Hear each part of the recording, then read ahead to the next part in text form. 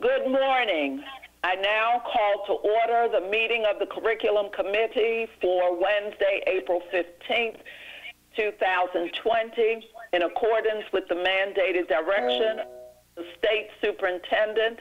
Baltimore County Public Schools and offices are closed to the public and non-essential personnel through April 24th, 2020 in order to maintain the health and safety of our students and staff. In accordance with the Board of Education's resolution approved at the March 10th, 2020 board meeting of a medical or health emergency related to COVID-19, the board chair, in consultation with the vice chair and the superintendent, may declare that a board meeting or a board committee meeting be held remotely in its entirety without the physical presence of board members, subject to the establishment of a mechanism that would allow each board member the opportunity to fully participate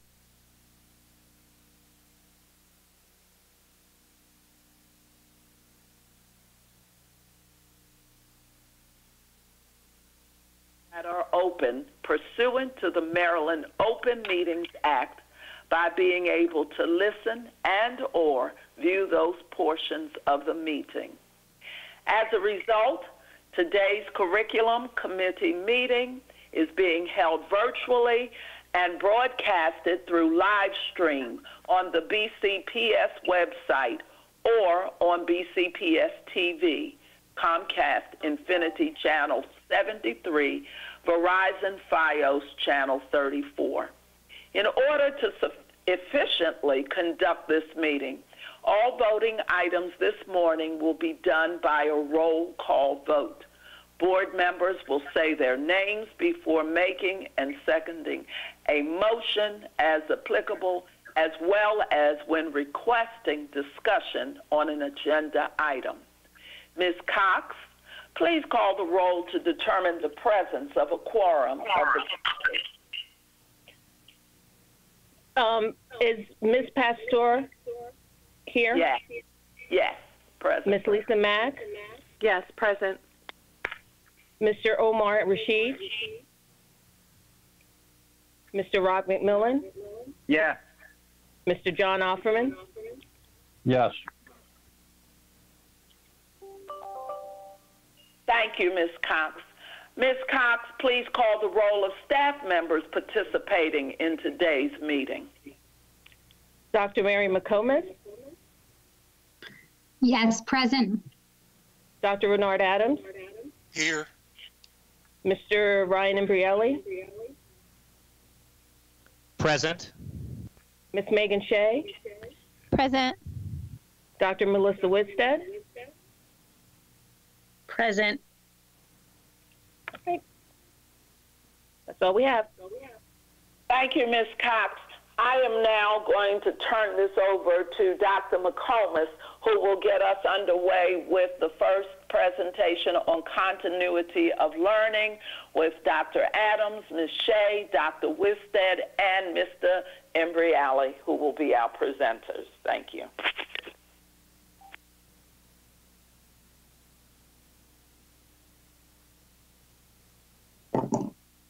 Good morning. Can you hear me now? Yes. Yeah. Yes. Okay, great. I, I am having uh, connectivity issues out here, strangely.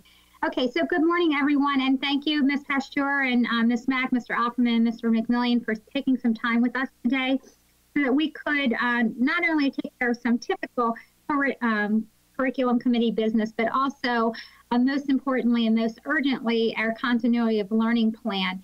And so my team and I will um, take turns discussing different aspects of our plan today as we move forward. So Jim, if you could go to the next slide.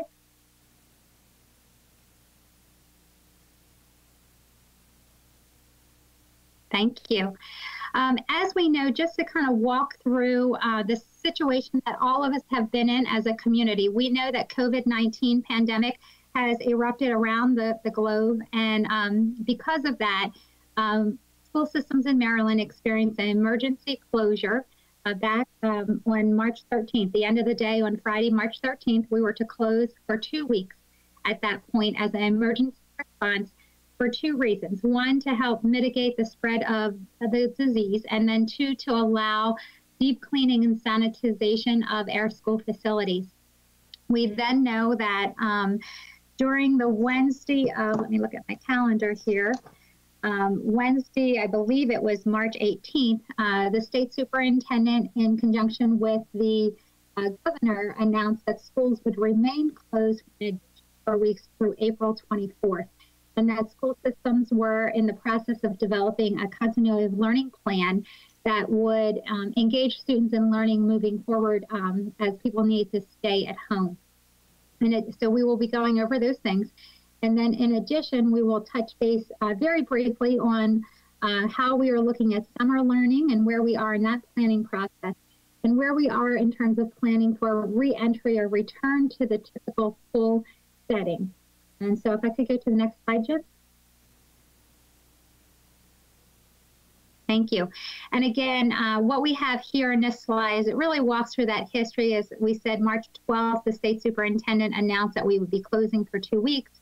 Um, and at that point, we as school systems had only 24 hours to gather whatever materials we wanted to send with students um, for a two week closure. Now, how we responded to that situation, fortunately, uh, just about a week prior, Dr. Williams had um, asked me to begin planning for the potential disruption of school um, because of the COVID 19. And so at that point, we had no idea if schools would be disrupted, but we um, recognized that we need to start preparing in the event that something happened. And it was entirely unknown at that point. Would they be closed? And if so, for how long? And so, fortunately, our leadership um, set us out in the right direction and um, Ms. Shea and I began um, discussing and working with the content offices about one week prior to the 13th. Um, in that process, we had the content teams develop resources for students that would cover three weeks of instruction. And the reason we provided three weeks was because we thought any closure might potentially be two to three weeks, and three weeks at a minimum would have taken us at that point up to what would have been our normal spring break. So we thought that three weeks was a good stretch of work. Um, but at that point, because it was really um, unforeseen at how long this process would go on, we made all of the work review and reinforcement exercises of standards and skills that students had been working on. Um, so that way, we would not be disadvantaging uh, students. We would just be giving them more opportunity to grow stronger in the um, standards and skills that they had already been working on. Um, and at that point, we did not um, intend to grade any of that because, again, this was a temporary closure and the idea was practice. Um, at that point, those materials were developed and we were able to get them posted on the Baltimore County website um, by Monday, March 16th. All those resources were available and they were quite extensive. We had resources from um, pre-K all the way through grade 12 in the core areas and the core required courses at the secondary level. Um, the, uh, the, additionally, those materials that were posted were in printable PDF format, so families could print them off at home as a resource. Thank you. If Jim, you could go to the next slide.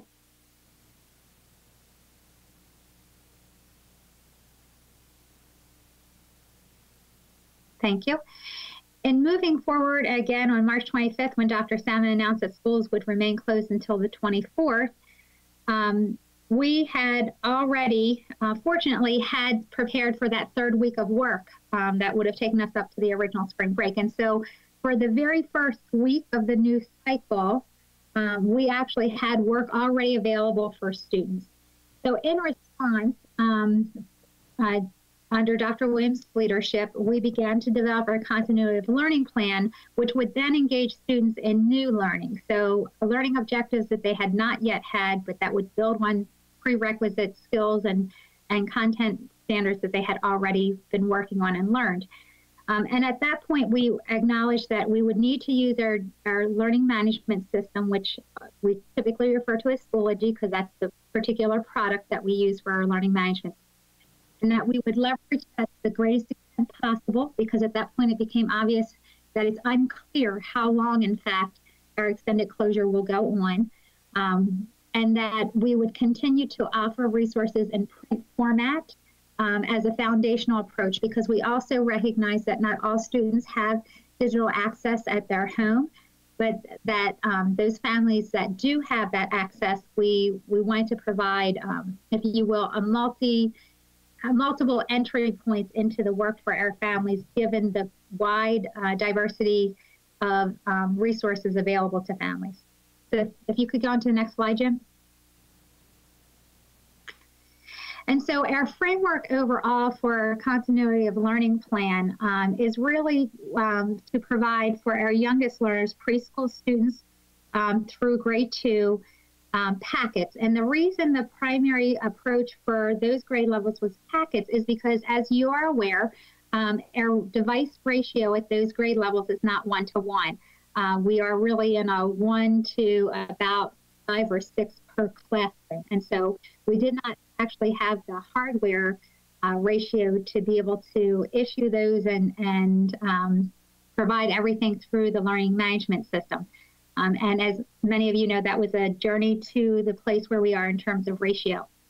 Um, our students in our special education FALS and CALS programs would also primarily receive packets because of their um, capacity. Our separate day schools would, uh, students would receive packets. Students in grades three and five would have packets as a foundation and a backup, but they were the first grade levels that we could um, really begin to leverage the learning management system because we do have a one-to-one ratio in those grade levels. And then moving on grade 6 to 12, as you're aware, we are also are in a one-to-one device ratio, and those in fact take those devices back and forth day in and day out. In terms of the resource requirements, we knew that we needed to design a learning plan that would support students receiving specialized services, whether those specialized services are because of special education needs or um, English learner needs or uh, giftedness or um, students experiencing homelessness. And that um, our framework needed to accommodate um, the levels of developmental readiness. You know, there's a wide range of capacity between preschool and our three and four year old programs, all the way up to our 18 year olds in 12th grade and then to provide for both digital and non-digital access as uh, I mentioned earlier, and then ultimately to provide for flexibility because we understand that every home, every household is working through this in um, very different conditions. Uh, everyone is, if you're working from home, you're not only trying to accomplish your job, but you're also trying to educate your own children who may be in the household with you while you're taking care of the pets and all the other things that are happening in your household um, while you're trying to teach your child or teach other people's children. And so we recognized what was important here is that we design a system that was flexible for families um, so that we uh, were in this together for success and that it was anchored in this understanding of compassion that everyone is under a great deal of stress and challenge right now and that while we need to make progress for our students we also need to um, contextualize the conditions that people are working in. Okay thank you. If i could go on to the next slide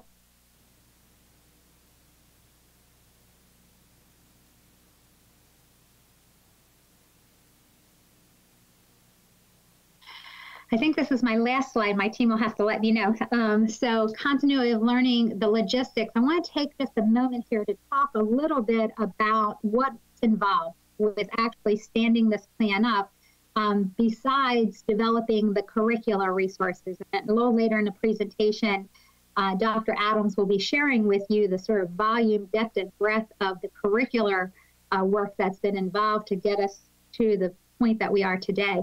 Um, but um, as discussing earlier, our assets were the fact that we do have one-to-one devices for our secondary students and one-to-one devices for our three to five. And that our learning management system does house curricular resources for students in preschool all the way through grade 12. And then that provides us a platform for interaction between our students, families, and our uh, certificated uh, personnel. And so that's to our benefit. They were resources that we had working in our favor. Some of the constraints or challenges we face is that our devices in grades three to five because students do not take them home every day, um, the charging cords were um, integrated into the charging carts. And so to um, separate the charging cords from the charging carts um, was an extensive process that involved uh, manpower and time uh, because of cord management. Uh, you couldn't just pull that charging cord out. It had to be done in a process um, for the DOIT team, which thank you, Mr. Corns. They did a great job over time for us. Um, and that these um, three to five devices were not able to be deployed or sent home with students on the initial closure on March 13th. Um, the other challenges that we face, as mentioned, is that not all families have internet connectivity at their homes for whatever reason. It may be by choice, it may be because their home is in a remote location, um, and it may just be that they financially are not able to um, have that benefit. And then uh, the distribution process needed to be established to be able to get our three to five devices to families. We need to be able to identify how to support those families that did not have connectivity um, with resources uh, to help them with connectivity in this crisis. And then ultimately, um, the logistics around trying to provide print form um, packets for families that needed that support as well. So there's quite a lot of logistics in the physical aspect of setting up our continuity of learning plan. If I could go on to the next slide.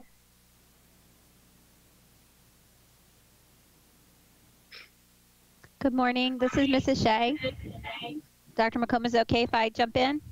Yes, thank you, Megan. Sure. Shea. So good morning, everyone. Um, so as Dr. McComas said, we obviously had a lot of logistics to think through um, to prepare our students, but we also wanted to make sure that we thought through how would we best prepare our teachers and our administrators um, for working in this new environment as you all know, and I, I um, heard from all of your comments last night on the board meeting that you're very, very in tune to what a challenge this was um, for everyone involved. But we knew that it was critically important that we prepare our teachers um, as best we could through professional learning. So, as Dr. McComas indicated, um, while schools um, reopened on March 30th, we had prepared enough um, practice work for students through April 3rd, which gave us the opportunity to use the week of March 30th through April 3rd for some robust professional learning for our teachers and for our administrators so that we could give them that week to prepare um, for what they would need to do um, in order to lead this work. And so we began by developing a course in our learning management system. Um, we titled that course the BCPS School Based Remote Learning Professional Learning Course. And the goal for developing this course was to include all of the professional learning content in one place to try to make it easier for us to reach uh, 10,000 teachers and administrators um, from afar. And so, to make that even more um, straightforward, we actually um, in collaboration with the blended teaching and learning team created 178 sections of this course so that there was an individual course for each school. Um, I want to also take this opportunity to um, talk about a rising star in our school system. Um, our e learning team has been absolutely invaluable during this time.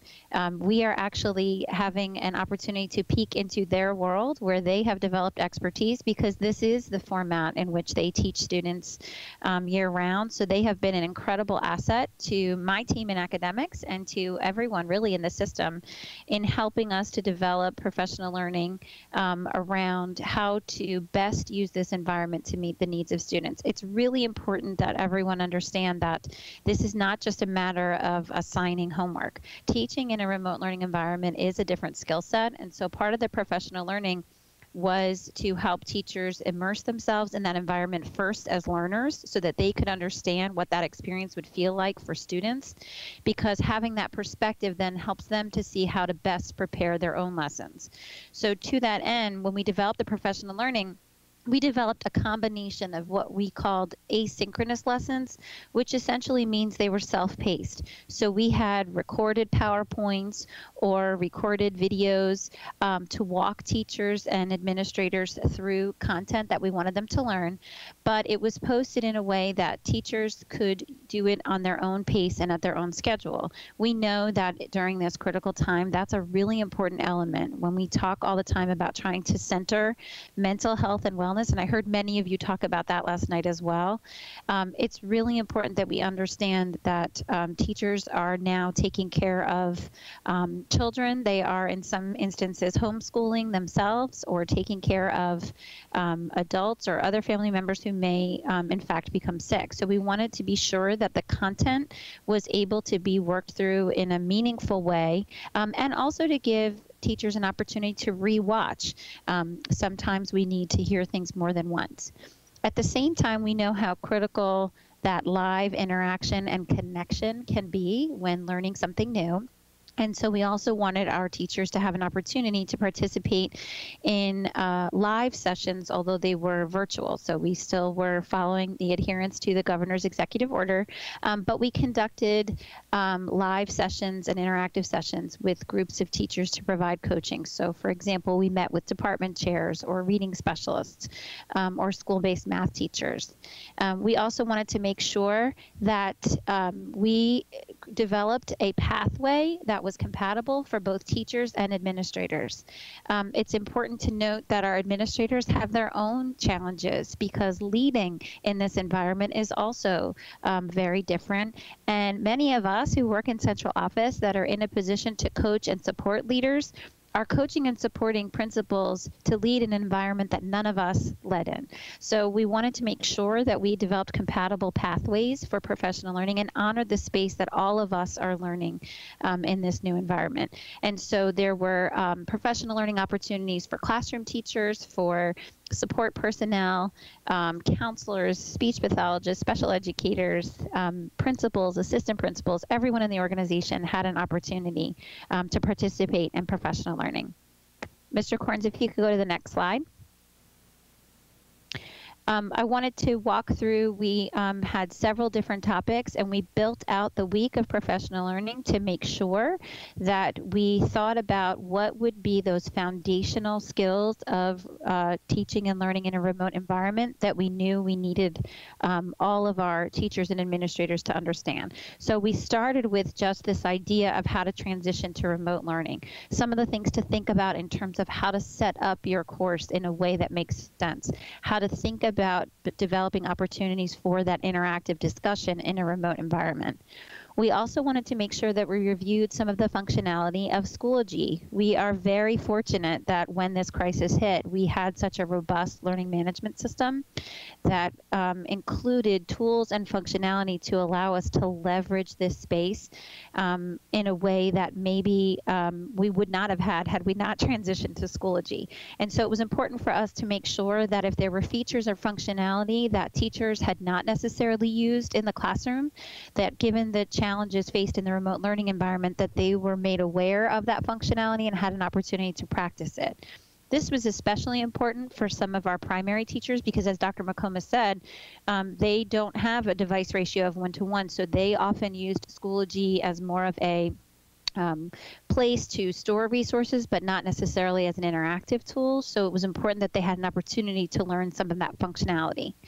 We also um, planned professional learning on how to use um, different tools for hosting virtual class meetings. As we said before, just like it was critically important that we had a combination of asynchronous and live um, opportunities for teachers, we knew moving forward as part of our continuity of learning plan, we would also want to provide those really, really important opportunities for our students to have that face to face interaction, both with their teacher, um, but also with each other. And so to do that, we identified platforms, um, including Google Meet and Microsoft Teams, and provided some rich um, professional learning for teachers and administrators on the functionality of these um, tools so that they would be in a position to host these live interactive opportunities with students. Later on in the week, we then, so we spent the beginning half of the week just priming the pump and preparing everyone for what is this going to mean to teach in this remote learning environment. In the second half of the week, we got into more of the details. So we developed a lesson to teach teachers about all of the resources um, that the academics offices would be providing. And I know Dr. Adams later is going to talk um, in more detail about what exactly we've been providing. We have provided and continue to provide for teachers. Um, but part of the professional development was to help teachers understand where do I go, where do I find it, how can I find models uh, to support that. Um, and that started really with helping teachers to understand um, a revised scope and sequence of what would be the most important learning for each of those courses. And then in collaboration with the Office of um, Special Education and the Office of um, School Climate and Safety and uh, Social Emotional Learning, we also developed resources to help uh, support our students um, receiving special education services um, and also to develop content to support our related service providers. So um, there were lessons built to talk about um, managing. Uh, the services for students receiving special education, as well as um, lots and lots of resources to support that social emotional learning, both for the adults and then also for them to use to support students. This was also an opportunity to engage our related service provider partners. So, all of the other student support staff that work so hard to support the needs of our students uh, when we're in the schoolhouse, and how can we also help them to learn new and different ways to be able to do that critical engagement in a new way? Um, and then we ended the week by helping them, uh, helping teachers and administrators understand best practices for managing those virtual class times. So we talked about um, safety and uh, ways to ensure digital safety and um, privacy. We also talked about ways to ensure engagement to help keep students um, in a frame of mind to keep them positive and to keep them um, moving forward. So you can see that throughout that week, we developed a lot of content um, Um, and worked really, really hard to ensure that we were giving our teachers the strongest foundation possible for making such a huge transition. Next slide, please. And so I'm going to share this slide with Dr. Wisted. Um, so I'll sort of talk through the left-hand side of the slide, and then I will um, turn it over to her to share on the right-hand slide. Um, but what I wanted to now kind of frame is, um, as you've been thinking about some of that professional learning and some of what Dr. McComas described as some of the parameters that we were working with, um, we wanted to sort of outline what are the instructional expectations that teachers have been given during this continuity of learning um, time. So the expectation that we have for teachers is that there is a combination, just like we had that combination for uh, professional learning, that we have a com- combination of asynchronous instruction. And again, by asynchronous, I mean um, self paced instruction using our learning management system, as well as opportunities for that live face to face interaction. So, the first bullet, when we talk about asynchronous instruction using our learning management system, our expectation is that teachers are posting the new lessons um, at the beginning of the week and that students have the opportunity to work through those lessons at a pace that makes sense for them and for the different challenges in their family, um, and that those assignments are then submitted by the end of the week. The decision to have that type of instruction be asynchronous was really done with the intention of centering uh, the mental and emotional health of our students and their families. This, as we've all mentioned, is an incredibly stressful time. We know that many of our students are experiencing um, newfound levels of um, stress in this environment. They may have unpredictable home environments, um, from everything as significant as experiencing homelessness due to job loss, um, or to just juggling uh, time and space to share. In my own home, um, I've often talked about we currently in my home have an elementary school, a middle school, and a high school, as well as um, two offices running all out of our um, home. And so sometimes that asynchronous instruction allows me as a parent to support each of my children in a different way at a different time. Um, and I know that as a mom, if all of that had was happening at the same time, that would make it that much more challenging. So the asynchronous instruction expectation is that each week teachers are posting new lessons, um, and the lessons include direct instruction either through recorded videos, um, annotated examples, anchor charts, um, that type of thing. Um, and then throughout the week, there are opportunities for that live interaction. So it is expected that every teacher host a class meeting each week. Um, we began with the expectation for that class meeting, again, centering that social emotional wellness um, to be just that check in, that opportunity to reestablish that community of learning that our students and our teachers have been missing so, so much during this time. Um, but moving forward, those class meetings are also an opportunity for them to discuss some of the lessons that have been posted, answer any questions, um, c- perhaps create an opportunity for students to share what they've been working on in the same way that we might um, in the school setting. Um, and then the third expectation that was established for teachers is this idea of office hours. Now, it's really important just to clarify it's not that we're expecting that teachers are um, chained to a chair, um, nor are we expecting that, um, as you can see, there's much more work that they're doing throughout the day. But what we wanted to be forward facing about is for parents and students to really understand when can I have some expectation that I'll be able to reach my teacher. Um, and so by posting office hours, teachers are communicating to students and their families when they will be online and available. So in some instances, I've I know some teachers have um, office hours where kids can pop into a Google Meet and just have that opportunity to ask a quick question or to get clarification. In other cases, those office hours are an opportunity for parents to know that their email will be read and that they'll have an opportunity to get a response. Um, and in some cases, office hours, I know Dr. Wisted's going to talk about some of the related service providers, but in some instances, that's a time they're making phone calls um, to check in with families. So through those three main instructional expectations, um, hopefully you've been able to understand a little bit more about our um, continuity of learning plan. And so I'm going to turn it over to Dr. Wisted to now talk about that additional layer of specialized instruction uh, for students receiving special services. Good morning. Um, yes, so I have the next few slides, which I'll go through in a little more detail about special education, advanced academics, and ESOL and how we are serving um, those populations of children. Um, and with special education, I just wanted to share that, um, and actually with all three, if it wasn't me, it was other staff members that were participating with MSDE and their guidance. They, you know, they've been pushing out guidance and holding meetings um, for the, spe- the specific groups, such as special education, advanced academic, and ESOL. So, you know, we're getting guidance from the state, and um, through special education, I've been participating in daily communication with the other directors of special education who are in the LEAs around Maryland, just so that um, you know we're collaborating with each other, we're understanding. We we've participated in national webinars that are happening um, as well, so that we know that we are serving the children as best as we can within um, you know this circumstance. If You go to the next slide.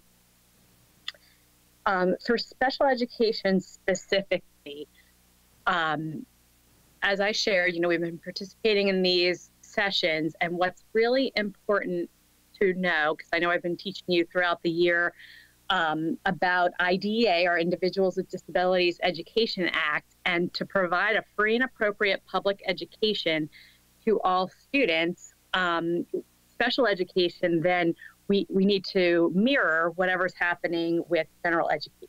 So the continuity of instruction that we are offering for general ed students, we looked at that and we've been guiding special educators um, and their IEP chairs to create um, a plan. So there's an amendment to the IEP. It's a form that schools are already familiar with.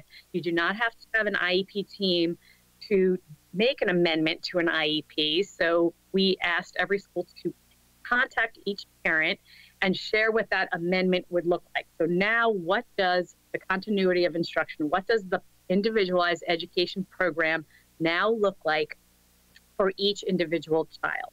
For example, if they typically had five pull-out sessions a week for Orton Gillingham, as an example, now that general ed instruction is reduced drastically, um, they maybe are only getting two pull-out sessions of Orton Gillingham instruction. Um, same with related services. If they would typically get three sessions a week, maybe they're only getting one session a week. So we ask teachers uh, to collaborate, the special educator to collaborate with the general educator as well as the related service provider, like they would do that week before school started, make their schedule for the week. Um, I'm getting a message. Can people still hear me? Saying poor quality. Yeah. You, uh, you I can still hear me? you. Yeah, I can Okay, hear you. great. All right, I'll ignore that. Um, so we asked them to, you know, create what their plan, their schedule is going to look like, because obviously it's going to look a lot different um, than it did in live instruction. And then they were to call every family, share what the amendment would be, um, and then if the parent had the ability to have it emailed to them, that you know would be preferred. Um, and because obviously we can't mail anything to anyone. Um, school teams should be continuing to hold IEP teams as scheduled if possible. So, for example, if there was an annual review that was coming up and they had all the information for the IEP to be updated, they could still hold that session. Um, again, they could do it by phone call with the parent, they could do Google Meet. Um, I believe that was explained earlier as that's our recommendation. Um, and so they could still hold that meeting. If for some reason they could not hold it because they did not have the information, for example, they were reviewing assessments, they would not be able to necessarily have all the assessments if they hadn't already had the face-to-face um, set formal assessment session with the student. If they already had that information and it was just a matter of finishing writing up the report, sharing that with the family, they could still have that IEP. Um, we were recommending weekly contact with the parent, so either the special educator, the related service provider, or the IEP chair um, would be contacting the parent regularly. And then the important part is we know that there is going to be an impact for some students based on this extended closure and the services they are receiving. When we return, whenever that is, um, the recommendation will be for every school to hold an IEP team for each child. Obviously, it's not going to happen that first week we are back. You know, we will have a grace period of when these meetings would be held, because we have to determine the impact of um, the closure and and how the services were delivered. So at that time, we would look at, you know, was there a regression for the child? Was were the sessions that we offered enough, and there was no impact. Therefore, their IEP will remain the same, and their services will remain the same.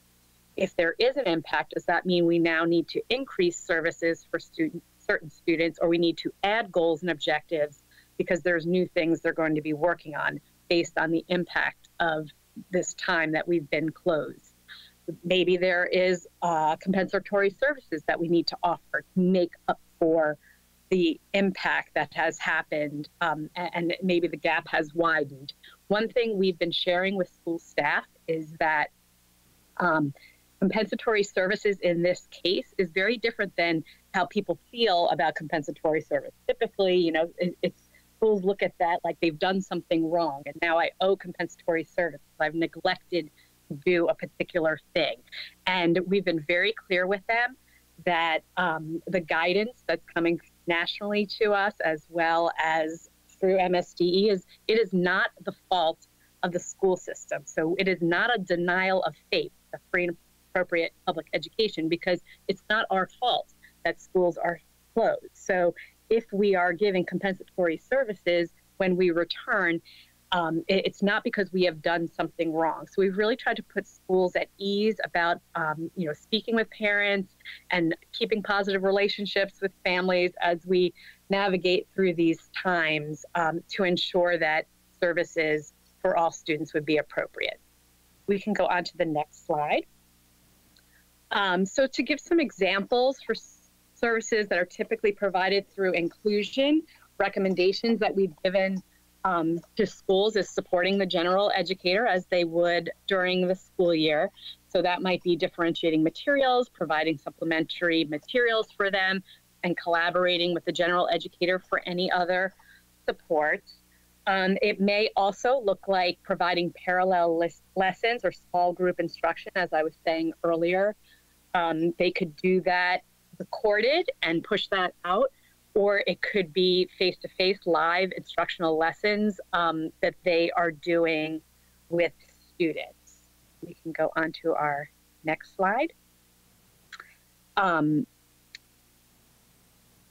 for students that typically are provided services outside of general education, so that could be special education services or related services such as speech, OT, PT, uh, we are recommending that they do recorded or face to face video instruction, one to two a week.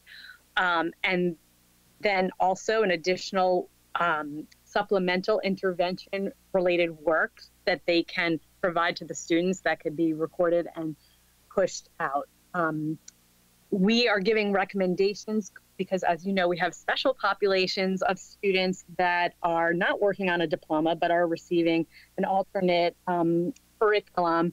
And for students in our FALS CALS, as uh, Dr. McComas was saying earlier, you know, we have packets for them, but we are also recommending doing some live sessions um, with those students and again making them only like 15 or 20 minutes knowing that you know they can't sit for a long um, period of time so you know we are trying to be flexible and when we keep saying that to people you know be as flexible as possible you know your students um, you know and create sessions that work for the students and the family. For um, advanced academics um, our office of advanced academics has been working very closely with our academics content areas. They have created um, the lessons on the same uh, cycle as Michelle was explaining earlier for Advanced 4. Excuse as, me a minute, Melissa. Could uh, Jim, could you go to the next slide? Oh, sorry. Thank you. Um, so they have created um, materials for Advanced 4 mathematics, the middle and high school um, GT English language arts, middle and high school GT science, um, and then for the next round, we are in development for enrichment menus for K to 5 to mirror the print um, pathway that's happening, as well as uh, differentiated digital content for grades 3 through 5. Um, and then there'll be continued ongoing work in the advanced 4 um, and secondary GT courses um, for the future weeks if we need to continue to do that. We can move on to our next slide to talk about ESOL. Um, they, uh, as well, for you may remember when we've done our ESOL um, sessions before at the um, secondary level, there are actual courses that students are in. Um, and at the elementary level, it's a cluster model where support um, through the ESOL teacher is uh, delivered for different students. So for elementary, they did online sample lessons, newcomer, elementary grades one through five, and for kindergarten. In middle school, they did these specific ESOL one, two, three, and literacy for English learners. At the high school level, they um, provided materials for the newcomer, ESOL one, two, three, for American culture and ESOL. They are also creating the TV lessons for elementary newcomer and secondary newcomer, and the co teaching supports, which are in place, um, are that the ESOL teacher will continue to collaborate with the classroom teacher and push in um, during instruction and be able to provide accommodations and modifications as they would typically in the live session.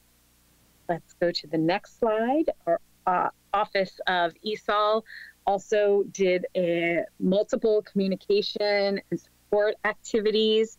Um, they've been collaborating with the communications department and translating all of the communications that have been coming out into the eight most popular languages. Um, and they updated parts of the website um, in the different languages as well. They collaborated with Innovative Learning. Um, again, those support documents for parents, um, they translated those and helped to work through those so that they could access PCP, BCPS One, Schoology, and Google Meets. Um, so you can see some samples that are there. How to communicate with your teacher or school is in eight different languages. How to communicate with families who speak limited English. Um, they have voicemail lines for Spanish, Chinese, Russia, and Urdu. Um, all of the FAQs they've translated into the eight most popular language, and then they um, have done ongoing training to support the video remote interpreting.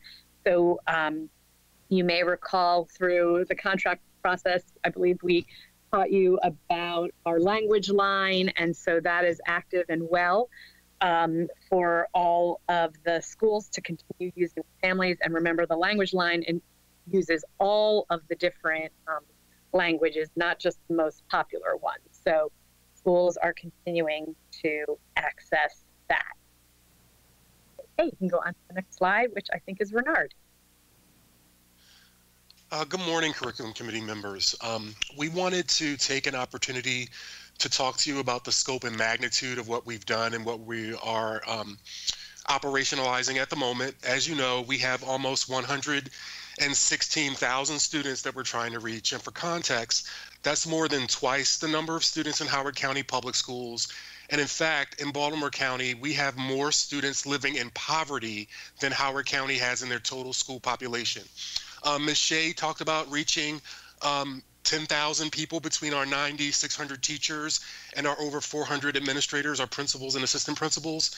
I wanted to also add that we also, in working with Dr. Zarchin and Dr. Nieves' team, have been reaching out to all of the related service and support personnel, such as the PPWs, the school psychologists, the social workers, the speech and language therapists, and, and so on, so on and so forth. So we knew we had to reach all of these people. We knew we had to do a, a massive amount of work, and we've, I think, done a really nice job. I couldn't be prouder in terms of the instructional resources that we have provided to our staff, um, Ms. Shea and the academics team did a yeoman's job.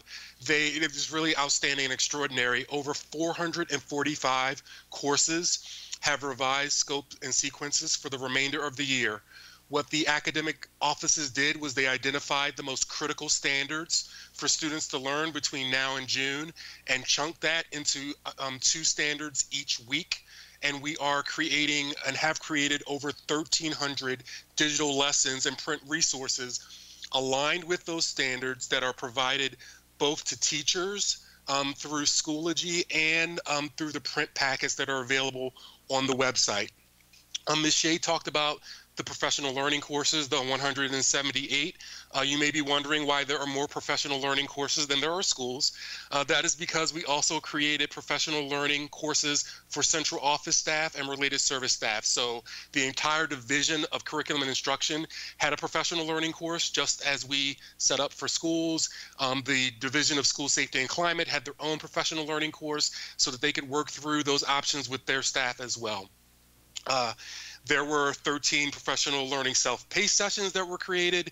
Um, again, we're trying to, um, as you know, Dr. Williams is a strong believer in the power of professional learning, and we saw this um, week, the third week of the initial closure, as our opportunity to basically reopen the school system. And so we treated it like a pre-service week. Um, under Dr. McComas's direction, she also asked us to think about how we might leverage our TV station and BCPS TV. So at the moment, we have 16 instructional videos that have been created and will be broadcast on a rotating basis on BCPS TV for our families that have access to that. Um, we are, Dr. McComas spoke about our print pathway for our students preschool to grade five. So we are um, mass printing and mailing over 57,000 print packets to cover the first, the next three weeks of instruction. And then at the secondary level, where we're leveraging Schoology, our learning management system, so the primary um, way of instruction and engagement is through the device, but we know we have students who unfortunately didn't come to school that last day, so they didn't have the opportunity to take their device home, or they don't have internet access at home. And so what we've done is we've created a link on the public site that um, enables a secondary student, a secondary parent or guardian, or a teacher to request course packets on behalf of the student. And because secondary students have individualized schedules, um, each of those requests allows them to select among the 445 courses which courses are aligned to their schedule. And then those are being printed in our copy and print shop and mailed. As of 6 p.m. last night, we had almost 1,500 requests for secondary packets, and I know that number is larger as of this morning.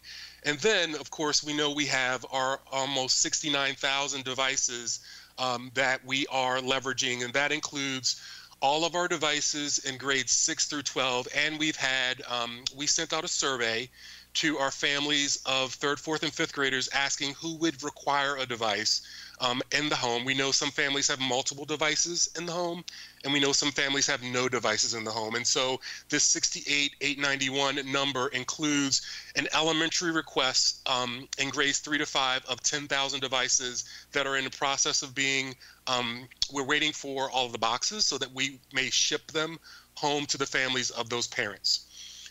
Jim, can I have the next slide, please?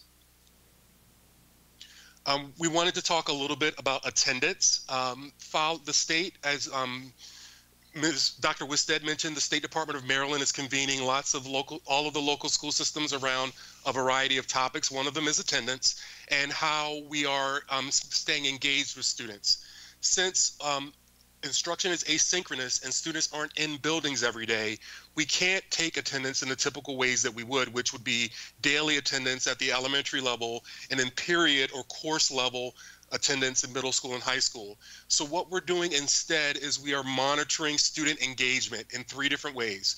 Um, one, teachers can see that students are engaged by taking attendance during their weekly class meetings.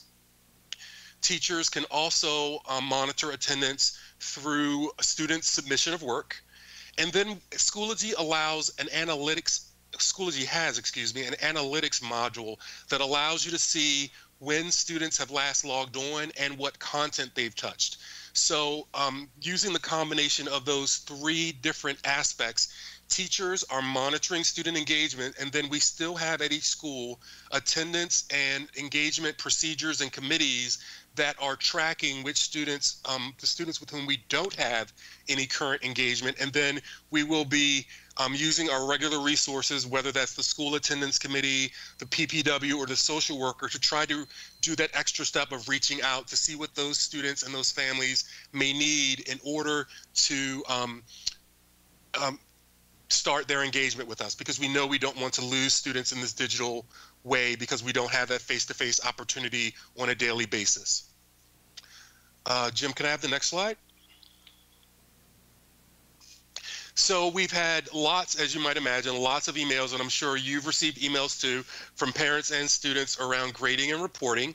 Um, as you know, the initial closure happened towards the end of marking period three and has now um, blended over into the beginning of marking period four.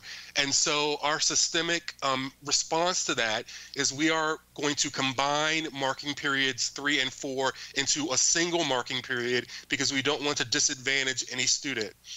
At the individual assignment levels, students may receive a score for an assignment, so 7 out of 10, 8 out of 10, 9 out of 10, or they may receive written feedback from teachers, and this will be done in Schoology through email or through teachers' office hours. And then for grading, um, following what most school systems appear to be doing across the state, students for marking period three and four will be graded as either pass or fail. There won't be a traditional letter grade of A, B, C, D, or E. And then in terms of final grades, um, there's a grading and reporting committee at the state level that is working through that because we know this will have excuse me, impact on our high school students and all of our students. And so that information has not yet been finalized, but it's forthcoming, and we know that students and parents are very eager to understand that. Jim, can we have the next slide? And I believe this is Mr. Imbriale. Oh, no, this was, I can do this one. Um, and so um, we are also under the leadership of Dr. Doctors Williams and McComas thinking about what would it look like if we re-enter school? And what does that look like if we re-enter this spring before the end of the school year in june or if we re-enter in the fall in august and september? And so if we were to re-enter um, in the spring we have a, the revised scope and sequence which puts all students on the same pace across the school system. That will be our foundation and our roadmap to align to completing the regular school year in a face-to-face manner. Um, in terms of if we reopen in the fall, we will provide guidance to our teachers and, and our principals around how they can create a review of prerequisite learning and materials while students are then being instructed in their new courses and their new grade levels. Can I have the next slide, Jim? And I believe this one is Mr. Imbriale's. Hi, good morning, everyone, again. So, uh, you heard all the work that is ongoing to get us to the place that we're at right now with our continuity of learning and our remote instruction. But at the same time, we are focused on what lies ahead for us, like uh, um, Dr. Adams was talking about in terms of sort of this uh, re-entry phase. And so part of that is uh, looking at and reviewing and getting a handle on what summer learning will look like this summer. Uh, we do uh, have two different paths that we're looking at. One would be um, an in-person summer program, uh, and that program would in essence look a lot like what we had been planning for over the course of the last uh, six to seven months. Uh, obviously, there would be an increased priority on preventing widening of the gaps in learning and addressing uh, what that reentry phase would look like in the fall, as well as there would be a focus on high school level courses for seniors who are attempting to graduate uh, in August of 2020. We are also, of course, um, re-looking at our summer learning program and trying to understand what remote learning would look like um, in our summer programs and trying to determine exactly which aspects of our summer program we would be able to implement over the course of the summer if we were doing a virtual program. And those meetings are ongoing. A matter of fact, uh, we have meetings even today with our functional managers who are a part of that process to make determinations and recommendations up to the superintendent for what lies ahead. Uh, Jim, next slide. And Mary, I think we're turning this back over to you if that's correct. Yes, thank you, everyone. Um, and thank you, committee members, for hanging in there. I know it took us a few minutes to get up and moving.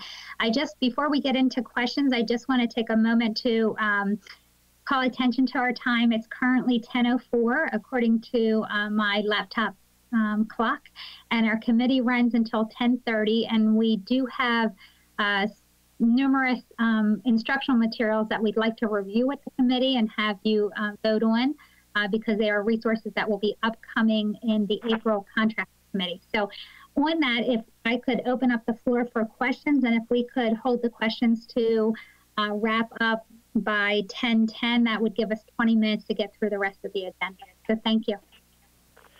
Let me uh, jump in if I may. First, I want to thank all of you for this very extensive work. For anyone who thought that this would be uh, simple, Mm-mm-mm-mm-mm. you certainly have put a lot of thought on not just in ter- terms of the curriculum, but also social emotional um, pieces to it. So thank you very much. Kudos to the e-learning team and to Mr. Korn's staff as well. Um, thank you. Um, everything was very extensive, so I'll leave it to the other members to ask those questions because I've looked over this so much. I know it in my heart. Um, I appreciate the work that you have done on reentry, particularly um, uh, the summer um, look and what might happen well um, when we go into the fall. Mr. McMillion and I had this discussion, and he mentioned it last night, that this actually, um, uh, it's sad, but it certainly has given us opportunities to think about things that possibly we have not thought about in the past, and it might be an opportunity for us to rethink what public education uh, really should look like.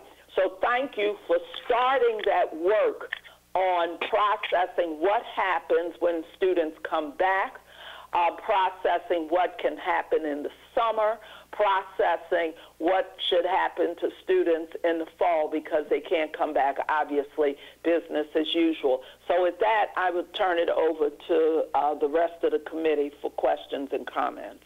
And again, thank you. Hi, Dr. McComas. This is Lisa Mack.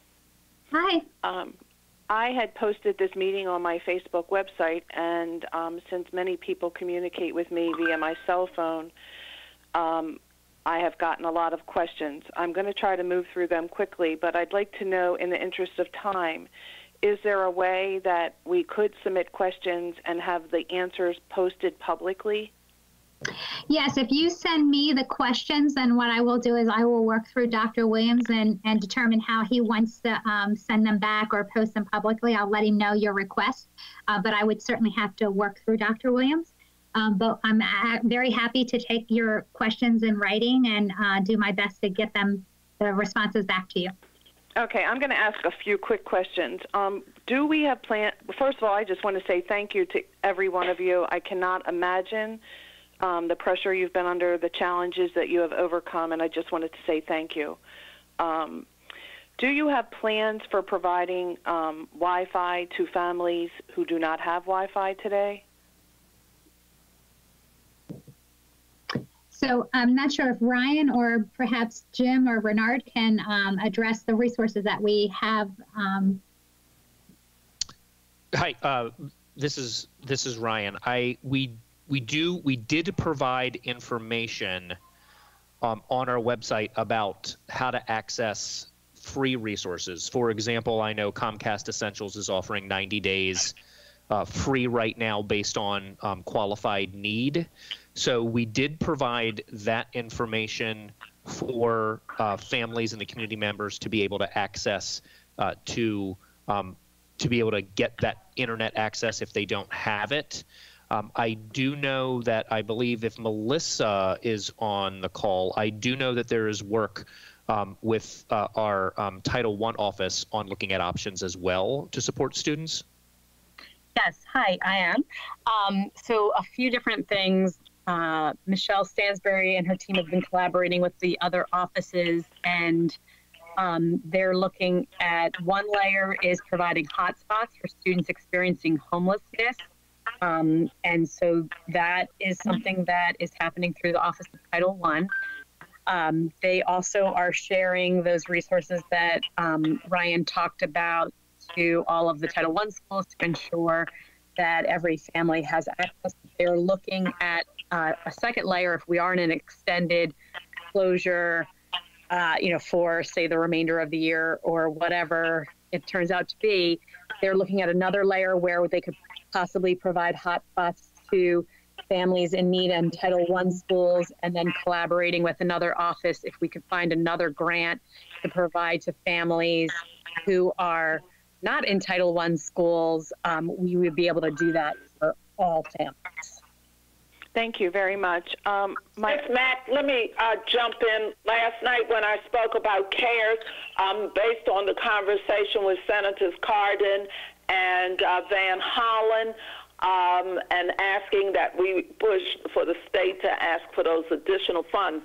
Um, a lot of that it will go towards trying to make sure that uh, not only hotspots, but that things are done to to open up uh, the capabilities for students who don't have it, because um, there are a lot of counties, for example, in the state of Maryland, where they have difficulty having nothing to do with economics, but just having to do with where they are located um, in terms of getting this. So, um, uh, Senators Van Hollen and Cardin um, have made sure that some of those monies, and whoever I think it was Dr. Wisted who just spoke, um, that they are really looking into this. And so we'll talk about that um, later, but there are federal monies out there that the state can get to try to help this situation. thank you. Um, thank you very much, Ms. Pasteur. Um, also, I, you went um, provided a lot of information about what's actually out there, and I, this is a very simple question, and you may have answered it. But are we actually right now beginning to teach anything new? Are teachers being given directions that they can go to the next thing or they can go ahead if they're meeting with their classes and they see that they have um, you know learned what they need to learn do they do teachers have the autonomy autonomy to move ahead so Megan, if you would go ahead and address that and maybe explain the scope and sequence and the learning objectives. Yes, absolutely. Um, good morning, miss Mack. So, um, in the professional learning that we just described, one of the um, activities we had teachers do was to go and see the scope and sequence that was developed. And so, to develop the scope and sequence, what my team did was um, twofold. One, um, because it should be noted that the scope and sequence was done for the um, remainder of the year, even though um, school closures have not yet been extended. We wanted to be prepared. And so, when the team was identifying those objectives to include in the scope and sequence that they revised, they did two things. One was they looked at our current year at a glance of what was the new learning that was intended to be taught in the fourth quarter. Uh, what were those priority standards that if we didn't address would create a gap um, and then also to think about what would be the most critical standards for that grade level um, if this were to extend for the remainder of the school year, what would be the most critical objectives for students, say, for example, in grade three, to know um, as they transition um, to grade four in the fall? with that in mind, our direction for teachers was, was because what we know is in 178 schools, our teachers' pacing is different. Um, and as it should be, teachers are being responsive to kids. Um, while we have a year at a glance and pacing guide, we know that sometimes teachers, based on the needs of their students, um, are able to move at either a faster or slower pace. Um, but of course, we weren't able to develop individualized scope and sequences for every school. So our recommendation to teachers is that they begin by looking at that scope and sequence that we developed because it's important that we have some consistency across the system um, in terms of our expectation of what content we know has been addressed, but that then they look at that scope and sequence and compare it to what they know about their students and where their students are to make the best decision about what comes next. So, for example, so they do have the autonomy. They have the autonomy. They also have the ability to use the lessons that we've developed um, in one of three ways. Um, where appropriate, teachers can certainly use the lessons exactly as we've developed and publish them for their students and that would be a tremendous support. They can look at the lessons we've developed and make some modifications and then push them to students, or they can simply use our lessons as a model and then create their own. Um, so, in the instance that you talked about, if a teacher was well ahead of us, then they should use the lessons that we've developed as a support, as a sample, and then create one that would be most appropriate for their students. Thank you. Thank you very much. I have two more quick questions and then I will be quiet. Um, what are we doing to, and I think you touched on this um, in the attendance piece, but we all know we have some highly motivated students and some less motivated students, and we are doing when we were doing asynchronous learning, the less motivated students might continue to be less motivated. Are we doing anything to increase the time that teachers are actually spending? And I understand we we worked in a um, like a crisis mode, but on a going forward basis, will we be increasing the amount of synchronous learning that takes place um, teacher led? Is there any um, plans for that at this point? Yeah, so let me go ahead and comment on that one, Ms. Mack. So I, I want to take just a moment here and really um, dive into what are the conditions needed for consistent quality synchronous learning our teachers to do live time teaching with a live group of students, similar to what we are doing here, you really need to have the conditions that allow the teacher to not have distractions going on in the background. And likewise, the children would need to be in a situation in which they can block out distractions and can fully um, engage. And we know the reality is that um, very few people are working in that environment. As Ms. Shea kind of just shared about her home environment, she's got five people working through the house on lots of different things. And so um, that is one of the primary reasons we went with the asynchronous. Now, the idea of the live class meetings was to still provide that live interaction.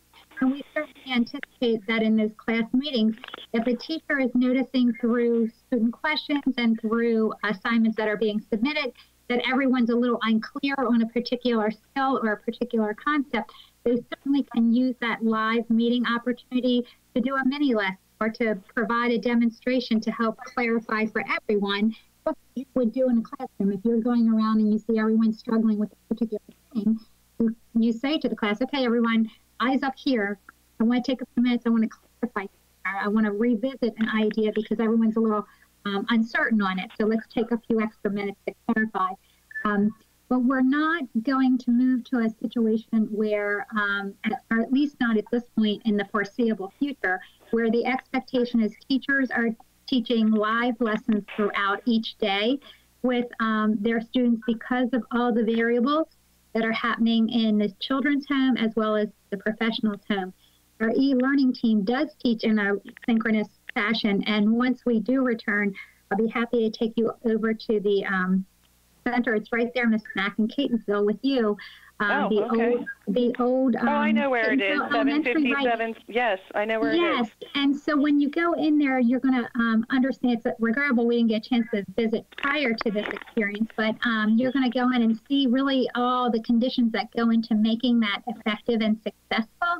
Um, and so, uh, what I would say is, I certainly anticipate teachers will become more skillful in how to use class time. Um, but at this point, it's not, um, I cannot foresee at this point that we would increase that, and it's for those reasons. Thank you very much, and I do You're understand welcome. that. And then my final question: um, one of the last schools I visited on my um, school visits was Maiden Choice, and this entire time I I cannot stop thinking about the students at Maiden Choice and the other schools like Maiden Choice, where the school system provides so much for those students. Um, are- we are we in contact with those parents? Um, uh, have we provided them with resources through perhaps social services? Um, uh, and again, I know you guys have done a lot with a lot of student groups, but that just sticks in my mind. Miss Mack, I can answer that. This is um, Melissa Wisted. Uh, they actually were the group of principals who uh, we began speaking with, like even before that two week closure was over, um, because they are the group that um, is first in my mind as the fact that we will not be providing them with the same type of instruction um, as compared to other students. So we've been working with those principals. Um, I talk with them weekly, if not more than once a week, um, as we planned. Um, and we talked about different uh, instructional strategies that the teachers could push out. They are getting the packets. We are working through right now um, a possible device distribution if, again, we go into an extended closure for that population of students. But the main thing that the principals were sharing was that uh, the parents would appreciate their contact from staff. So that's I'm really sorry, you're the, breaking up. Okay, never mind. You just came back. the regular contact with staff that we believe the families um, would want. And as I was saying before about the amendments, the IEPs, you know, those teachers are determining how many times a week they're contacting the families, um, you know, and providing any live instruction if that is, um, you know, even appropriate. And um, so right now, the, the principals and those school staff believe that, you know, they're doing the best that they can Of course they are, right? that's there. But we also had talked about if we are live um, this summer, that you know, as a compensatory measure, we could extend their what we call extended school year, which is a summer program for students with IEPs. And you know, they could have a full day program rather than a half day program. We could examine if it should be a six or an eight week program rather than a four week program, and that could be this summer and next summer. You know, we could um, where we've talked about a lot of options, knowing that that is the group that probably will be impacted the most based on the closure. Okay, thank you very much. And I'm sorry to use more time. Um, I'm finished. All right, it's That's okay. 10:20. Are there any other members who have any questions? I do. Go ahead, Mr. Hill. I'm curious. There's going to be teachers and students who thrive in this remote learning style. And I'm curious if we're planning ahead to expand e learning if and when we come back to give these teachers and students the opportunity to continue with this if they want to. There might be kids that are thriving in this that that were just marginalized in a traditional classroom back in a corner someplace. But in this setting, they they love it. Are we going to allow them to continue with this if if they've shown that they can handle it and they're successful with it? So I think, Mr. McMillion, you raise a great question because I think you're right. You know, different students thrive in different conditions, and our traditional schoolhouse is not always the setting that all students thrive in. I, I know my um, brother in particular was a student who was uh, the traditional school setting was not for him, and yet he turned out to be a very successful entrepreneur. So I would agree with you. At this point, I'm actually going to ask Mr. Imbriale to take a minute to just talk about what is our e-learning program and, and how students access that. I, I cannot in the moment, Mr. McMillion, promise you that we would, um, you know, double or quadruple our e-learning offerings. But I agree with you that uh, this whole experience will alter the face of public education, as you said last night, um, moving forward in ways that I think it's difficult for us to entirely foresee. Hi, so good, good morning again. Mr. McMillion, our uh, e-learning program has continued to grow each year. Uh, we service uh, close to 3,000 students over the course of a school year, and many of those students come in and um, in and then exit the program for various reasons. They could be assigned to e-learning through um, the the designee process. Uh, they could be assigned through e-learning through home and hospital because of particular needs that they might have, or they can't be in the regular day school. Or uh, they could be students who, for whatever reason, are out of the area or the country for an extended period of time and are continuing their services through Baltimore County through our e-learning program. C- currently, e-learning uh, the way it's set up uh, can't issue a diploma uh, based on the the credits that are needed to to that you're needed to obtain. Now that's something that we're continuing to look at and review. So there's always that option. Uh, e-learning is um, it's uh, it's it's quite a, a, robust program, and we have a number of teachers who that is their full-time job. They they work in that program. Jim Fazzino, who's the supervisor of e-learning, um, uh, is an excellent resource as we as we were moving into this remote, remote learning plan, as uh, Miss Shea had mentioned, um, and that team uh, does amazing work on a regular basis. I, I think there's always an opportunity to consider how we would expand services like that. Uh, that um, that has uh, obviously budgetary uh, implications. Um, and we would have to work with the State Department of Education to ensure that we would be able to um, have a full uh, school, if you would say, where you'd be able to issue a diploma when a student completes the work. Okay, and I want to make the point too about the the teachers. You know, nationwide we're in a teacher crisis with retention and recruitment. There might be out of our 9,600 teachers, there might be some teachers that love this, that that have never been exposed to it other than the traditional classroom. So th- this might be a, a, a breath of life as far as their careers are concerned some of them might just want to go do this and and get out of the traditional classroom. Are we thinking ahead about about you know the, just not the students but the teachers too? Right. So I think, Mr. McMillion, you're you're spot on in that the uh, the, the educator workforce certainly, especially our younger generation of teachers, are so much more digital native, and um, I I foresee in the long haul um, as we were saying, public education transforming to some degree. And I think over time there will be expansion of that, which would, of course, also create um, the need for teachers to, to provide uh, synchronous instruction. I, I, think what I have experienced is that that takes time and it takes uh, a certain political will of the community and political agreement. If you think about just the a journey that we have been on as a school community around digital resources, digital instruction. To what degree are people confident in it? To what degree are people unsure and and um, hesitant about it? I think it's a it's a journey um, to answer your question. And certainly as we expand programs, however quickly or however slowly that may be, that too would increase the need for teachers.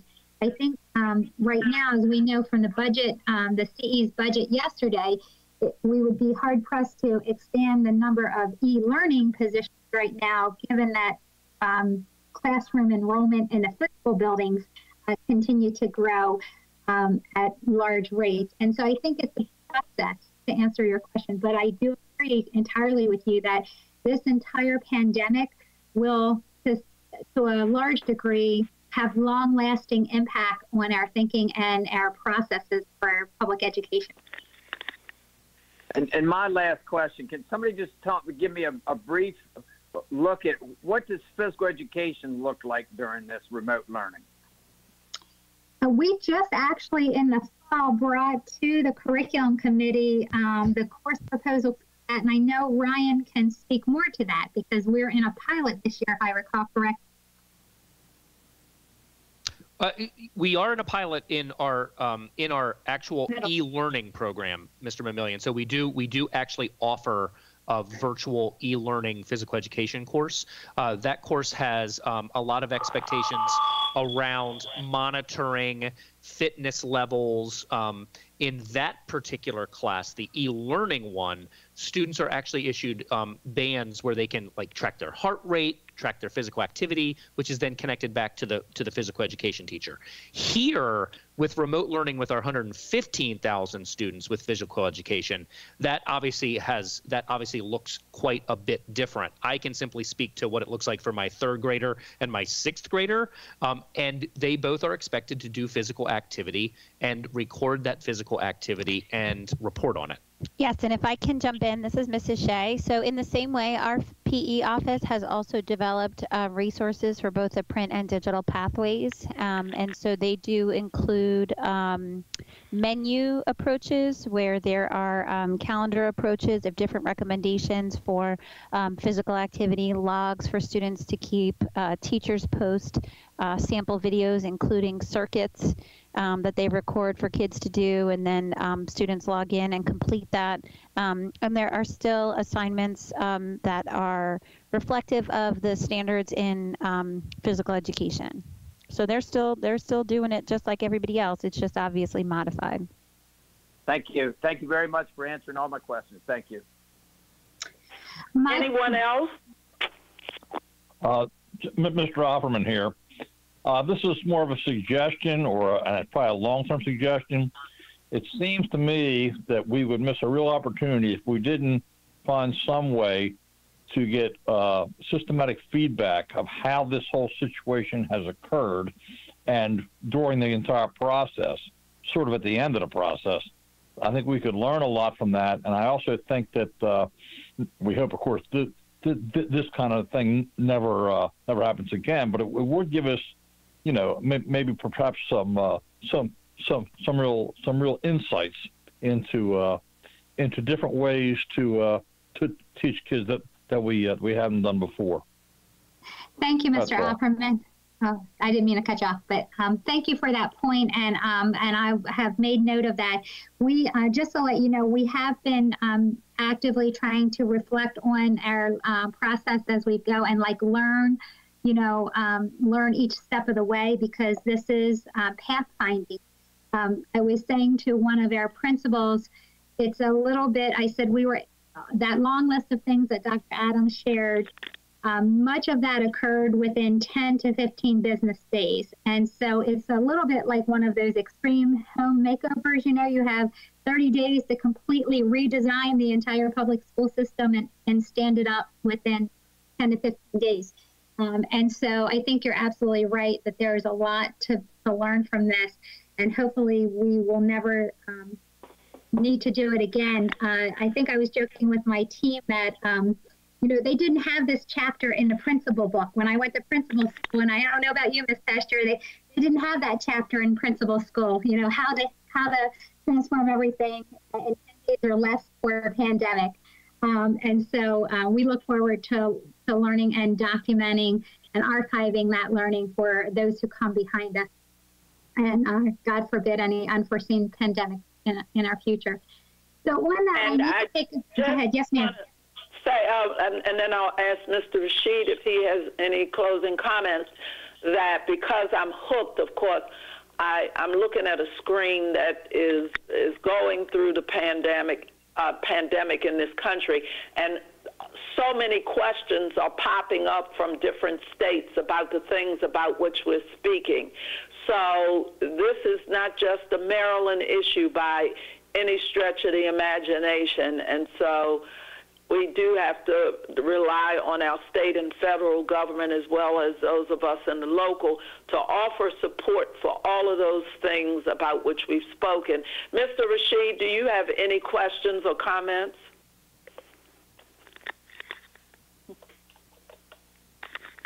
He's not here. Okay. Okay. Thank you. All right. Um, uh, Okay. Mrs. Uh, Dr. McComas, you want to move forward then? We do. So thank you, everyone. I know we're technically at our committee time. If I may beg to have your attention for another um, 15, 20 minutes maximum. The next committee does start promptly at 11, so I want to make sure that we are out of the way for the um, GIMS team and the, the technology that will need to be in place to um, take care of that committee's um, um, digital needs. So if I may very quickly, I just want to go over, we have numerous instructional materials and, you know, I always like to um, ensure that our committee has an opportunity, thank you uh, for pointing the agenda back up, has the opportunity to understand what are the instructional materials that are coming forward to the contracts and then ultimately the full board so that you understand the what, why, and how of these instructional materials. And so I'm just going to very quickly identify um, what they are. And some of these I'd like to be able to move through uh, very quickly at the end, but there's I'd like to spend a little bit more time on so that you have a, a, a really solid understanding. I think the other ones are a little more straightforward. So the first one that we will spend some time on, I'm going to ask my team if we can, um, you know, uh, move through our presentation quickly, but it's on discovery education. Discovery education is a digital resource. Um, and it has come up to uh, time to renew its contract. Um, and this is a particularly robust resource, and, and our contact right now um, really um, points to the value of this. And before you advance this slide, I just want to very quickly say the one after this I want to spend some time on is a textbook. It's a broad umbrella textbook contract that I, I worry people can be confused about, and I want to make sure I spend some time with you answering your questions so you understand how that umbrella uh, contract is used. And then uh, we have some math science um, supplemental resources. I know uh, Dr. Wisted has a modification to Abbott. I think you're all very familiar with Abbott. That's the very last agenda item. And if need be, we may need to cut that one. But there's Abbott's not new, and Abbott's been well established and approved. We just wanted to make sure that you're aware. We're asking for a modification to the spending authority uh, coming up in April so that you weren't caught off guard by that. And I forget what the other one in there is. But at this time, I'm going to turn over to Megan and Ryan to walk us through discovery education because there's a lot of resources that um, are part of this contract. Okay, uh, Megan, do you want me to just move on to the next slide? Does that Go work? for it. Okay. Yep. Okay. So, good. Um, uh, good morning again, everybody. And of course, doing this remote, Megan and I have to like like work on the fly here. Um, I I did want to talk about the two distinct parts of the platform and service that Discovery has, and that's why um. Shea and I are doing this together. So, the, the Discovery Education Experience, which used to be uh, the uh, Discovery Streaming um, is uh, streaming video available for um, all of our K-12 students. In Baltimore County, all students, um, actually pre-K to 12, currently have access to the streaming services. Um, the second part of the platform uh, is the tech books, and Ms. Shea will talk more about that. And they are available for specific courses in math, science, and social studies. Um, and in all content areas on both platforms, it's all research based and aligned to educational standards. Uh, Jim, can you go to the next slide, please? So, so this um, image here is, is actually just looking into discovery education and seeing what it looks like for our students. Um, uh, a student would have our, their name there, it would be their uh, their discovery education experience, and whatever they have access to would be available there. It, Dis- the Discovery Education Experience Officer offers a variety of tools, um, including relevant news. Um, they do um, events programming. A matter of fact, right now on Discovery Education's uh, website, there's all sorts of information on COVID 19 and relevant programming. Uh, they also offer virtual field trips. Those field trips are live and then they're recorded so they can be viewed at, a, at another time. And then they have lots of materials that are organized by subject and standard for ease of use for both the teacher and the student. Teacher resources include content personalized for uh, their use along with instructional tools designed to assist the teacher teacher in planning and presenting uh, lessons that utilize the resources that are part of the platform. And then the platform also houses opportunities for professional learning with step by step guides and interactive courses. So if a teacher does have questions, they can get that just in time learning within the platform itself. Uh, Jim, could you go to the next slide, slide please? Uh, so uh, the Discovery Education contains content available in all sorts of subjects. We're talking about science, social studies, arts, career skills, health, world world languages. The assets are available and searchable by uh, content and standards, um, and they uh, do uh, target the Maryland curriculum standards for uh, for all of the main subject areas. Translations of materials are available in 30 languages, um, and um, the transcripts are available for almost all of the streaming programs that are provided inside of Discovery Education. Closed captioning is available and is customizable. Um, and then for the tech books, they provide interactive text to address multiple reading levels and languages. And students can highlight text, they can add sticky notes, um, they can have the text read aloud to them, and you have the ability to print the content that's inside the tech books as well. Um, there are several other tools that provide enhanced differentiation, um, such as um, uh, an item bank, um, an online um, item bank that provides uh, information for teachers in order to track sort of how the student is progressing in the particular um, in their particular learning within the Discovery platform. Jim, can you go to the next slide, please? So uh, Discovery Education is, gets a tremendous amount of use. It's an integral part of the curriculum for a number of the a number of our um, curriculum programs here in Baltimore County, um, and it is actually there's a number of resources that are embedded in our remote learning approach that we're using right now. Um, you can see from these quick graphs. Uh, one is demonstrating our use um, in the 1920 school year to date, which is the the upper graph, and the lower graph is looking across um, from July 2018 through mid-February of 2020, and you can see where the dip occurs is the summertime. So you can see that the the tool does get heavy use um, and is used by, on average, um, close to uh, 50,000 students when we're during when we're in our months of the school year between September and um, and May uh, when you look at the month by month from July 2018 through February 2020. Um, and I believe, Megan, you're taking the next slide. I am. So thank you, Mr. Imbriale. So Mr. Imbriale just shared with you um, a lot of the information about the streaming video content. Um, I want to share with you the information about the tech books. So tech books are um, textbooks um, virtually, um, but they include so much more than just a digital version of a print textbook. Um, so to be more specific, um, we have them in math for all middle schools. Um, so we have access to a textbook for Math 6, Pre Algebra, and Math 8, as well as for middle school Algebra 1.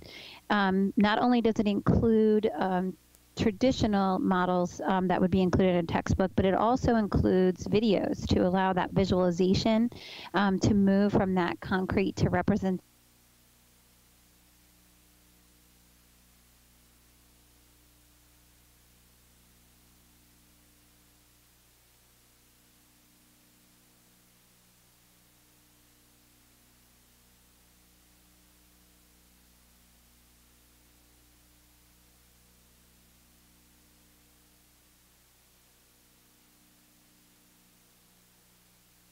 one or two videos, as well as a reading, as well as a visual, all in one place for students to explore that topic. Next slide. Um, I should mention we also have tech books for math available just in our lighthouse high schools. Um, that was part of the original rollout as we were first moving into uh, the use of technology in high school. For science, we have tech book access for all students K to 12. Um, these resources are a critical component to our curriculum. Um, they are essentially our core text in the elementary curriculum, includes again those rich simulations to support that development of content, um, as well as the reading passages. So, um, and Mr. Imbriale mentioned our reading passages um, in Discovery Techbook include accessibility features. So not only can the reading passages be translated, um, but students can also, um, teachers can shift the readability level. So when we're talking about trying to access rich uh, content vocabulary, teachers can actually adjust the reading level to meet the needs of their students. Um, and students can utilize uh, the read aloud feature to have the passage read to them. In our secondary curriculum, these resources are critical for supporting those disciplinary core ideas outlined in the next generation science standards. Um, so they have, um, they are in use in our Earth, um, Earth systems, living systems, and our physical science courses. Um, they also provide sample strategies for teachers and assessments that teachers can use to check in um, on progress. Next slide in social studies. Um, they are the core textbook for grades six and seven world history.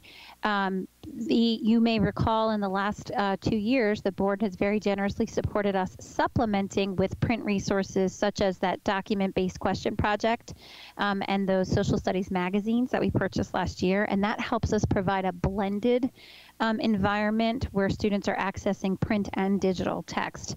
So the social studies textbooks are used um, to provide readings, and another very important use in social studies are those primary and secondary sources. So they have curated thousands and thousands of primary source documents images, maps, um, etc. In fact, the maps are so important, I listed them twice. Um, it also includes investigation activities for kids to be able to explore um, and try it out and allows teachers, in some cases, the investigation activities are self checking. So imagine a drag and drop or a sort that will actually give students that feedback as well as writing practice. Next slide. Um, as we mentioned, in addition, for all the benefits for students, it also provides tremendous instructional resources for teachers. So we talked about the what they call SOS or Spotlight on Strategies. These are phenomenal strategies for engaging students in reading, discussion, and writing um, that teachers can use across content areas. I already referenced that board builder, um, which is almost like a giant virtual bulletin board where teachers can pin, if you will, uh, different resources all in one place. Um, and it provides templates for teachers for building some of those same investigations. Next slide. So the timing is actually pretty perfect that we're bringing this contract now because I cannot underscore enough, as you can, I'm sure, imagine in our current context and our continuity of learning plan, these discovery resources have been absolutely critical. Um, many of my team have talked about how they don't know how they could have done this, especially given all of the challenges and the quick turnaround, and done it in a meaningful and authentic way without this resource. We have embedded the streaming video for building background content. We have used the board builders to help organize instruction in a remote learning environment in a way that's not overwhelming for students. Um, of course, we've utilized all of the text resources and primary source documents and those interactives all of my content teams have relied on Discovery Techbook in one way or another. Those that have the tech books um, have used them directly, and then many of our other contents have used the streaming content to support students, um, including our ESOL office has relied pretty heavily on it in the last couple of weeks. Um, we mentioned earlier that as part of our continuity of learning, we've been developing video lessons for BCPS TV. This is a critical way to reach that population of students that we all keep talking about, those that don't have internet access, that maybe haven't been checking in. And so we've been uh, working our way with BCPS TV and our partnership with Discovery has allowed us to also pr- use that content on BCPS TV, which is a tremendous win um, in terms of the permissions that they've given us as really valuable partners in trying to support our students. Next slide. Okay, so I think this one's back to me. I, Yep. I do want to make sure everyone is aware that although the product uh, discovery education has been used for over six years here in the Baltimore County Public Schools, we did go back out to RFI officially to explore new opportunities for digital content. There were 10 responses. Uh, several did not meet the criteria, the, the criteria that we set forth in the RFI. And um, after after the after the official review process was conducted, none were able to deliver the amount and quality of product currently offered by Discovery Education. Um, in addition, while some did offer for supports for professional learning, Discovery was able to offer through its digital platform much more accessible supports for professional development for lessons and the integration of digital content, which, as Ms. Shea talked about, is so critical right now. Right now, members of the evaluation committee agreed that Discovery Education did have the most to offer, um, and the loss of the available current content and resources would be very difficult to replace by another platform. Um, and as Ms. Shea mentioned, I did want to mention uh, we we work with a number of digital content providers, um, and Discovery was uh, the first to step up to the plate and offer their video services to be able to be streamed broadcast quality over BCPS television, um, and uh, that is not something that we're seeing um, with with all of our providers. And while we're in this situation, uh, that that is a pretty significant move on the part of um, of Discovery Education. Um, so. Uh, with that, uh, this is a contract that's coming forward. Um, oftentimes, there's questions that uh, do pertain to the cost of the product. I did just want to mention. I know the board um, is um, uh, laser focused on cost and ensuring that we're we're doing what we can to provide the services and and do it at the best price possible. Uh, this contract is coming forward um, at a savings compared to where it was uh, previously, um, and we will continue to do that every opportunity we have. Thank you. Okay, if I may, I know um, our time is limited, so it's 1048. So uh, if we could take a few, um, just like one or two questions, and then um, I'll have Megan just very quickly touch base in the second resource and the resources after that on the agenda. I'll work with Dr. Williams to see if there's a way I can send you the PowerPoints and perhaps a weekly update if he would uh, be agreeable to that or not, because I like to provide you as much information ahead of time. So uh, thank you. Hi, this is Lisa. Um, I have I, I, just am trying to understand one facet of this. Um, in the FY21 budget, across many many um, um, subjects, there was about 16 million dollars requested for text T E X T books. Yes. Is this an addendum? Yes. Is this is an enhancement to them, or is this a replacement of those TEXT books? No, so, and I'll, I'll uh, begin to address this, and Megan, if you want to jump in. So, Miss Uh, Mack, we do already have this as part of our ongoing budget, so maintenance of effort. Um, and so, this would not be replacing any of those additional requests um, that we have uh, because they serve specific things. So, for example, the Open Court is a phonics program, whereas Discovery Education may have resources that can uh, supplement social studies. It's not a phonics program. Um, and so I don't know if Megan, if you have anything else you'd like to add. Yep. So I would just um, you, add to what you already said, Dr. McComas, which is that um, anytime we're identifying the core instructional materials for any course, we try to take an approach of thinking about the best resource for that um, specific program. So this would not duplicate. In some instances, um, so for example, in the 16 million request for TEXT, there was nothing included for elementary science because our recommendation is that we use the Discovery Tech book for elementary science. So you will not see it duplicating, but rather complementing efforts. So it, um, for example, in sixth and seventh grade, we would be using um, Discovery Tech Book as our core um, in sixth and seventh grade world history, whereas the TEXT request um, in the budget was around replacing elementary math. So you can see it's really about a balance of print and digital, but it's not duplicating efforts. So just to be specific, um, under mathematics, uh, pre-K to 12, a budget highlight was an increase of $6 million for textbooks – um, and I know that that's Bridges for grades K through 5, and an increase of 1 million for Algebra 1 textbooks. Correct. So in that case, this is an enhancement, not a replacement? So currently, we have access in our current contract that we're seeking to renew just for the middle school algebra. The request for the funds moving forward is to replace the algebra core resource for high school as well. Okay. Um, okay. And then I guess my other question is um, I had heard that the county executive cut funding for TEXT books. Yes. Um, it, are we able to cover the request for TEXT books through the um, budget allocation transfer that occurred last night? Uh, well, not the entirety as of right now. So what um, they shared last night in the budget appropriation transfer, and obviously the budget process is still unfolding, as I'm sure you saw with Dr. Williams and, and Dr. McComas. Please jump in.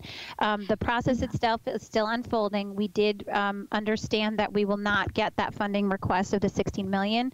Um, I it does not appear at this point that we're going to be able to cover the entirety of that request with that budget appropriation transfer. Our hope is to prioritize and to cover as much as we possibly possibly can. Right. That's and forgive me, my uh, computer paused out for a second. Um, yes, I think you know, as as Miss Shea said, we will um, once we get the actual figure in, we will and in combination with the um, budget um, adjustment that you made last night, the BAT, uh, we will look and then um, make you know um, decisions that uh, to make to to do the best we can with the resources that we have. And, and one final question. Do you, at this point in time, have any intention of not rolling out open court to the additional grades or not rolling out bridges? We have complete um, commitment to finishing the rollout for open court, and we have complete commitment to over time rolling out bridges. The budget um, process may require us to move to a multi phase rollout of bridges, just as we did with open court uh, it is very rare to be able to get the funds to do a complete overhaul all at one time. Um, so doing a multi-year rollout, um, although not as, um, it, it, slows us down, um, but it's more typical, uh, just as you saw with open court. So that is the, the direction that we'll, I think, financially need to take uh, with Bridges. Thank you both very much. My pleasure. Um, it is uh, now 10:53.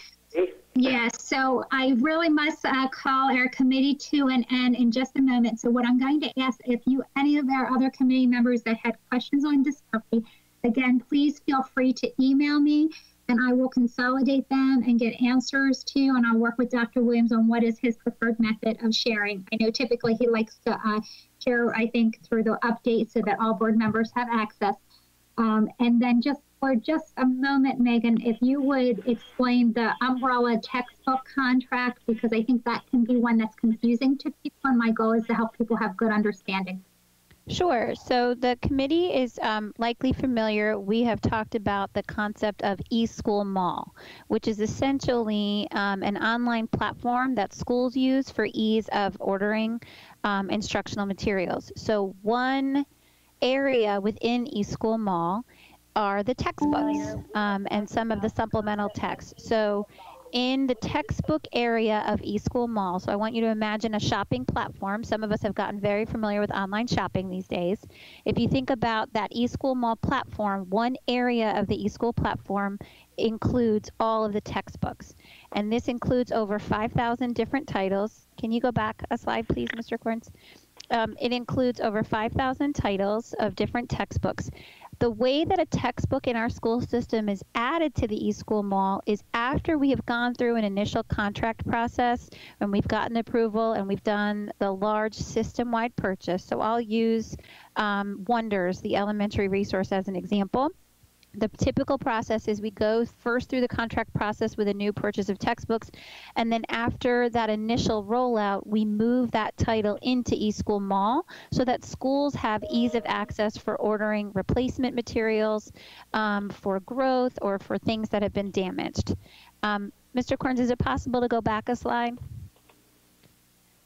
The eSchool, thank you. The eSchool Mall textbooks portion um, covers over 5,000 titles of these textbooks. So that includes things like all of the Wonders uh, textbooks, textbooks in all content areas, so business education and CTE. It includes all of the novels. So I know Miss Pasteur will remember from her high school days and Mr. McMillion, we have tons and tons of novels. And at the end of each year, oftentimes our schools look to see which ones have gotten worn and torn and need to be replaced, or which title was super popular and multiple teachers want it. So the textbooks and instructional materials section of eSchool Mall allows schools easy access to order these materials and also allows our central office the ability to supplement with our current um, funds. So, for example, most recently, um, it had been quite some time since we had purchased a textbook for our AP psychology courses.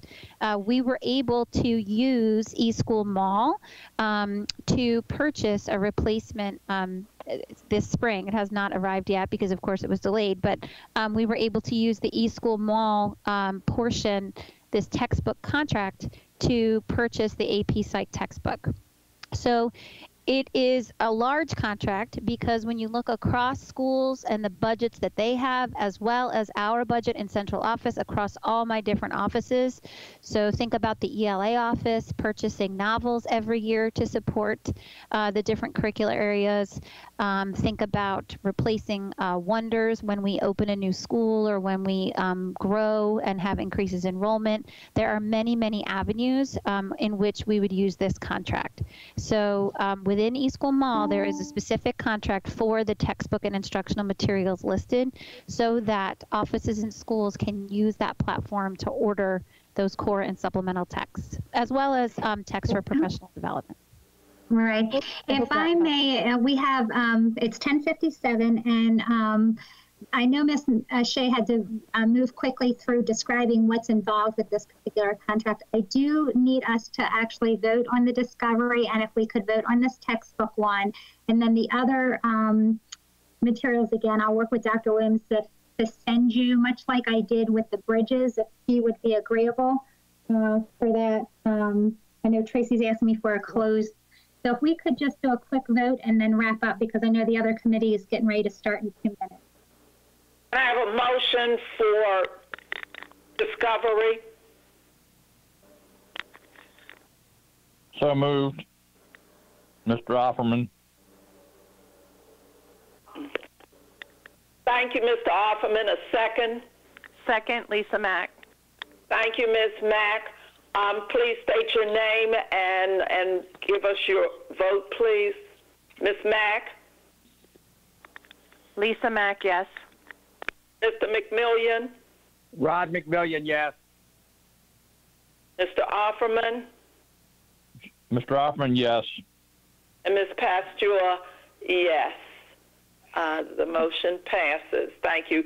Uh, what else do you want us to I need, um, if you could, the textbook, this umbrella textbook. Now that you understand, it's really it's an umbrella against which all schools and Yeah. offices then purchase. Can I get a motion, please? So moved. Offerman. Thank you, Mr. Offerman. Second. Second, Lisa Mack. Thank you, Ms. Mack. Uh, will you please call in, uh, uh, give your name and vote, please? Lisa Mack, yes. Mr. McMillion, Rod McMillion, yes. Mr. Offerman, Mr. Offerman, yes. and Ms. Pasteur, yes. Uh, the motion passes. I have sent them a text indicating that we are winding up and our apologies. Yes, thank you.